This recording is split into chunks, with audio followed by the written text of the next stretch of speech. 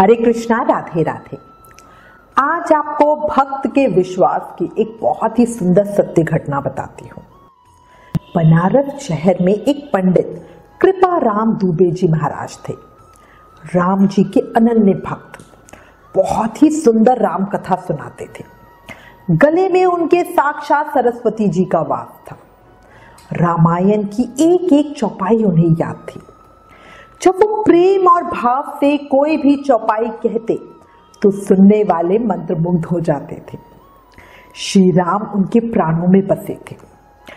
सन 1990 में जब अयोध्या जी में श्री राम लाला के मंदिर पर विवाद हुआ था, तब पंडित कृपा राम दुबे जी ने भी सहयोग किया और पैर पर गोली खाई थी। उसके बाद उन्हें चलने फिरने में काफ़ी तकलीफ़ रहती थी। पर भक्तों के लिए ये कोई परेशानी नहीं होती, गर्व की बात होती है। बनारस में उस समय पर जातिवाद बहुत ही ज़्यादा था। ऊपर से भारी संख्या में सैलानी आते थे, जिससे लोगों के बीच में विचारों का मतभेद बहुत ही ज़्यादा बढ़ गया था। इसी में उनके एक साथी थे फौजदार शर्मा जी। शर्मा जी और पंडित कृपा राम दुबे जी के बीच छत्तीस का आंकड़ा चलता रहता था। उनके विचार कभी मिलते ही नहीं थे। पंडित कृपाराम दुबे जी रामलीला मंडली में निर्देशक थे और हारमोनियम पर बैठकर मंच संचालन भी करते थे।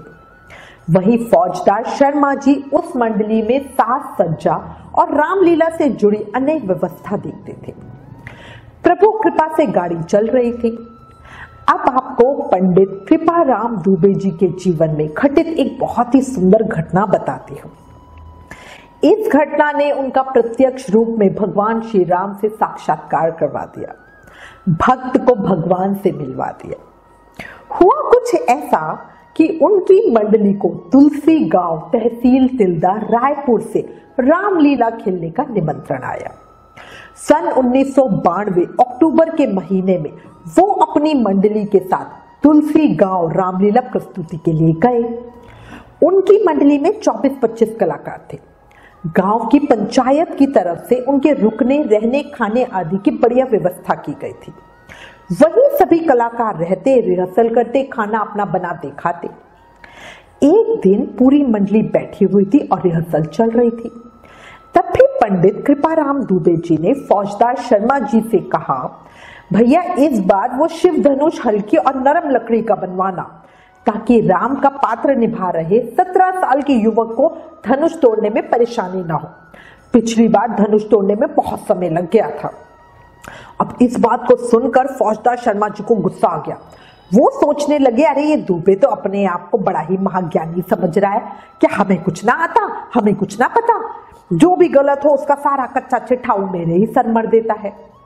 अब इस बात को लेकर पंडित जी और फौजदार में कहा सुनी हो गई। बाकी लोगों ने पंडित जी का साथ दिया। उन्होंने फौजदार को बोला, भाई, पंडित जी सही बात कह रहे हैं, इसमें तो कोई गलत बात नहीं है। अब इस बात को लेकर फौजदार पंडित जी से काफ़ी नाराज़ हो गया और पंडित जी से बदला लेने का सोचने लगा। दो दिन के बाद सीता स्वयंवर और शिव धनुष भंग होने वाला प्रसंग का मंचन होना था। अब फौजदार शर्मा जी ने सोचा, भाई, कुछ तो करना ही पड़ेगा। वो गाँव के एक पहलवान के घर में गए और कहा कि उन्हें रामलीला में लोहे के एक छड़ की ज़रूरत पड़ गई है। क्या आपके पास है? अब रामलीला में सेवा के लिए कौन मना करेगा भाई? इसी भाव से पहलवान ने उसे एक बड़ा और मोटा लोहे का छड़ दे दिया। अब छड़ लेके फौजदार दूसरे गाँव में लोहार के पास गया और उसे धनुष के आकार में बोला कि इसको थोड़ा सा धनुष का आकार दे दो छड़ को। अब रास्ते में उसने उस धनुष पर कपड़ा लपेट दिया, रंगीन कागज़ से उसे सजा दिया। अब देखने में तो वो एक नॉर्मल धनुष ही लग रहा था। और इस तरह से धनुष को तैयार करवाकर उसने गाँव के एक घर में उसे रखवा दिया। जिस दिन उस प्रसंग का मंचन होना था, उसने जब रामलीला शुरू हुई, तैयारियाँ हो रही थी तो पहले तो नॉर्मल लकड़ी का जो धनुष था वो रखा हुआ था।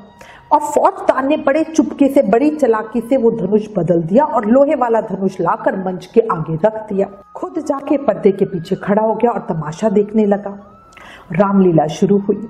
पंडित जी हारमोनियम पर राम चरणों में भाव विभोर होकर रामचरित्र मानस के दोहे का पाठ कर रहे थे। हज़ारों की संख्या में दर्शक शिव धनुष भंग देखने के लिए आए हुए थे। रामलीला धीरे धीरे आगे बढ़ रही थी।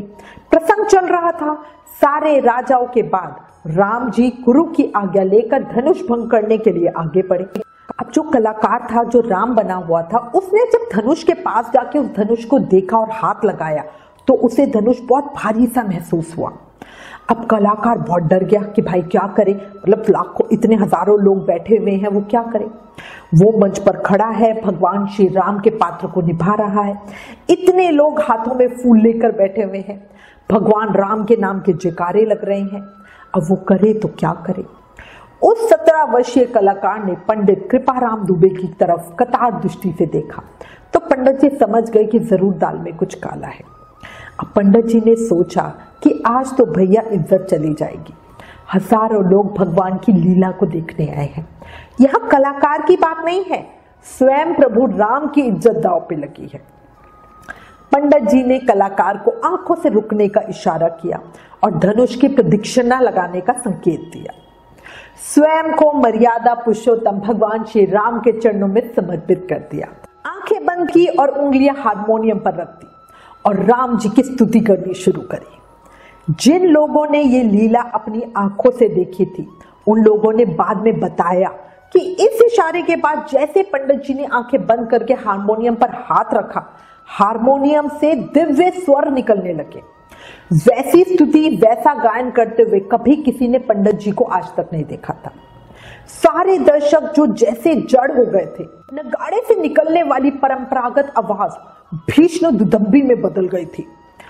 पेट्रोमैक्स की धीमी रोशनी बढ़ने लगी थी। आसमान में बिना बादल के बिजली कौंधने लगी थी और पूरा पंडाल आकाश से आ रही रोशनी से जगमग कर रहा था। दर्शकों की कुछ समझ में ही नहीं आ रहा था कि ये क्या हो रहा है। मतलब पहली बार उन्होंने डिजिटल इफेक्ट्स देखे होंगे उस समय। किसी को कुछ नहीं समझ में आ रहा है ये क्या हो रहा है और क्यों हो रहा है। पंडित जी खुद को राम चरणों में समर्पित कर चुके थे। और जैसे ही उन्होंने चौपाई गाई, लेत चढ़ावत खेचत गाड़े, काहू न लेखा देख सब उठा डे ते ही छन राम मध्य धन तोरा, भरे भुवन गुनि घोर कठोरा। बस ये चौपाई पंडित जी की पढ़ते ही आसमान से भीषण बिजली कड़की और मंच पर रखे जो धनुष था, लोहे का धनुष, उसको कलाकार ने दो भागों में तोड़ दिया। सोचो, इमेजिन करो। लोग बताते हैं कि ये सब हुआ और कब हुआ, किसी को कुछ पता ही नहीं चला, किसी ने कुछ नहीं देखा। बस एक पल हुआ और धनुष की बिल्कुल टूटने की भयंकर आवाज़ आई और धनुष टूटने के बाद ही सब चीज़ें पहले जैसी नॉर्मल हो गई। उस कलाकार को भी नहीं पता चला कि क्या हुआ, उसने कब और कैसे वो इतना भारी धनुष तोड़ा, जिसको बाद में वो उठा भी नहीं पा रहा था। पूरे पंडाल में जय श्री राम, जय श्री राम के जयकारे हो रहे थे। लोग मंच की तरफ़ फूल फेंक रहे थे। एक अलग ही आकर्षण, एक अलग ही जोश सब में भरा हुआ था। पंडित जी मंच के बीच में आए और टूटे धनुष और कलाकार के सम्मुख दंडवत हो गए। पंडित जी की आँखों से श्रद्धा के आँसू निकल रहे थे। दूर खड़ा फौजदार भी अपने किए पर रह रहकर आँसू बहा रहा था। शर्मा जी ने यह सब किया था पंडित जी को नीचा दिखाने के लिए।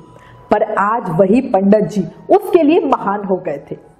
वो मंच पर गया और सबके सामने पंडित जी को हाथ जोड़े पाव छुए। आज शर्मा जी की आँखों में जो आँसू थे, वो सच्चे थे। अब खुद सोचो, लोहे का धनुष कैसे टूटा होगा? कैसे वो भीष्ण जो आवाज़ थी, वो कैसी आवाई होगी? सोचो और जयकारा लगाओ। बोलो, भक्त और भगवान की जय जय श्री राम देखा कैसे भक्तों की लाज रखते हैं? और ये तो देखो सर्वविदित है। आज भी जब कहीं भी राम कथा होती है, वहाँ स्वयं हनुमान जी आते हैं। प्रभु की कथा सुनते हैं। वो भला कैसे कभी कुछ गलत होने दे सकते हैं? देखो, अपने भगवान पर विश्वास रखो। ये हमारा विश्वास और प्रेम ही होता है, जिससे साक्षात त्रिलोकी नाथ भक्तों के लिए कुछ भी करने को तैयार हो जाते हैं। आपने सुनी हुई होगी उनकी कहानियाँ? उन्होंने भक्तों के लिए चक्की चलाई है, बैल की जगह खुद खेत को जोता है। भक्त के यहाँ नौकरी की है, नौकर बनकर। और इन सब की एक दो नहीं, हज़ारों घटनाएँ हमारे अतीत में घटित हुई हैं। इसलिए कुछ भी हो जाए, भगवान पर अपने विश्वास को हिलने मत दो। अगर आपको ये सत्य घटना पसंद आई, शरीर में कुछ कंपन हुआ, आँखें कुछ नम हुई तो प्लीज़ इस वीडियो को ज़्यादा से ज़्यादा शेयर करो। आप हमारे साथ फेसबुक और इंस्टाग्राम पर भी जुड़ सकते हो। उसका लिंक मैंने डिस्क्रिप्शन में दिया है। Please like, share and subscribe. Thank you. Hari Krishna.